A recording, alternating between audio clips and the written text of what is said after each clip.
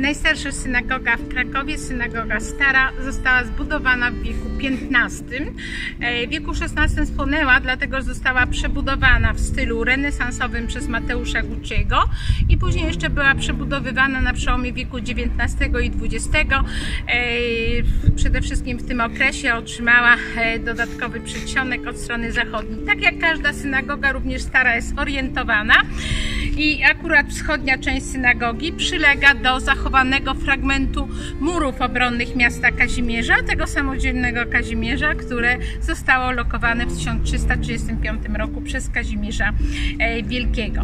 E, Bo w ogóle Kazimierz to był taką wysepką oblewaną przez e, rzekę Wisłę i tu właśnie chrześcijanie i Żydzi współtworzyli swoją historię i swoją kulturę. Wracając do starej synagogi, w okresie II wojny światowej została obrabowana przez Niemców, a w latach 50., 60., e, w latach 50. e, ubiegłego wieku e, została zamieniona na Muzeum Judaistyczne. I jako jedyne Muzeum Judaistyczne w Krakowie e, prezentuje pamiątki związane z tradycją żydowską, z kulturą, życiem rodzinnym. Także polecam, żeby zobaczyć jej wnętrza. Tym bardziej, że e, w środku można zobaczyć jeszcze właśnie bardzo pięknie zachowaną salę e, gotycką oraz dawne miejsce tak zwanych śpiewaków. No ale przede wszystkim poznać właśnie w e, sposób e, mówiący o tych, o tych wszystkich świętach, tradycjach, o e, kulturze. Także na pewno synagoga jest godna zwiedzania.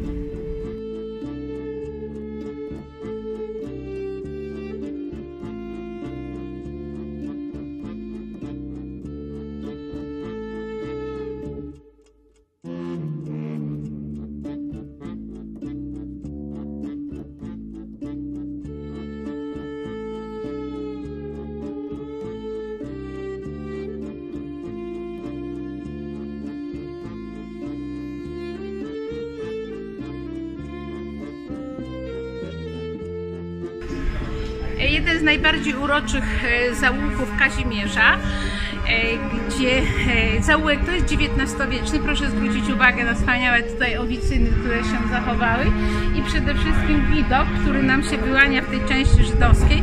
Także wyłania nam się najwyższa wieża Kościoła, Bożego Ciała, przepięknego gotyckiego kościoła zbudowanego w chrześcijańskim cmentarzu.